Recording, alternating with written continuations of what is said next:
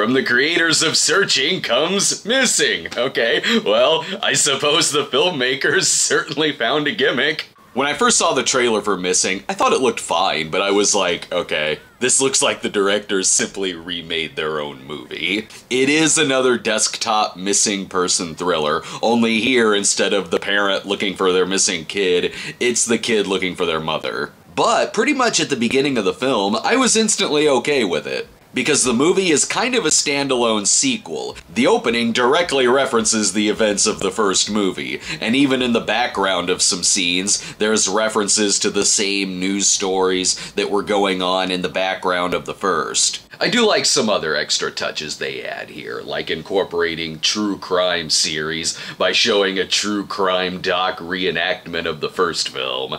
I like how the case in this film gets blown up to being a national news story with 24 hour news coverage, and even a segment where TikTok sleuths kinda bungle things a little. Like with the first, the editing here is excellent and they really keep things engaging and moving at a pretty good pace. What really helps all of that is how good the casting is. The actors do nail their roles, and with it being about Storm Reid looking for a missing parent, it could also be in the Wrinkle in Time universe. They do such a great job with the directing, the editing, and the acting that there will be sequences where two characters get to know each other via video messaging, and they still have great chemistry with each other. The standout character is Joaquim de Almeida, who plays an errand guy in Colombia who Storm Reid hires to check up on some stuff. And he really steals his scenes. He's not only excellent here, but it is great seeing him in a very relatable, regular guy role like this. There are some genuinely surprising turns that it takes. Now, granted, while a few of the twists caught me off guard a little, there are some that certainly didn't. One of my least favorite movie cliches is when someone correctly guesses someone's password,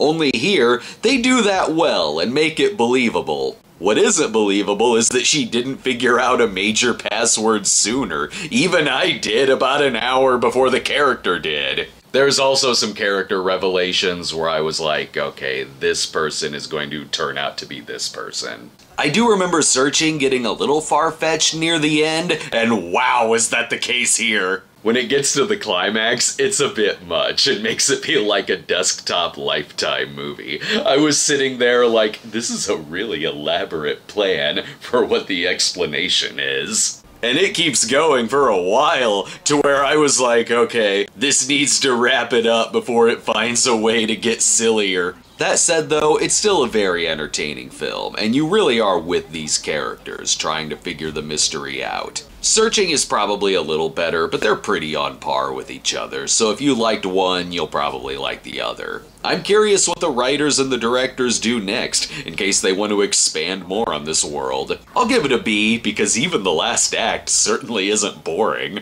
Thanks for watching everyone, and be sure to subscribe to our movie reviews of 2023 playlist, where you can keep up to date on all the movies we'll be reviewing this year, and we'll see you next time.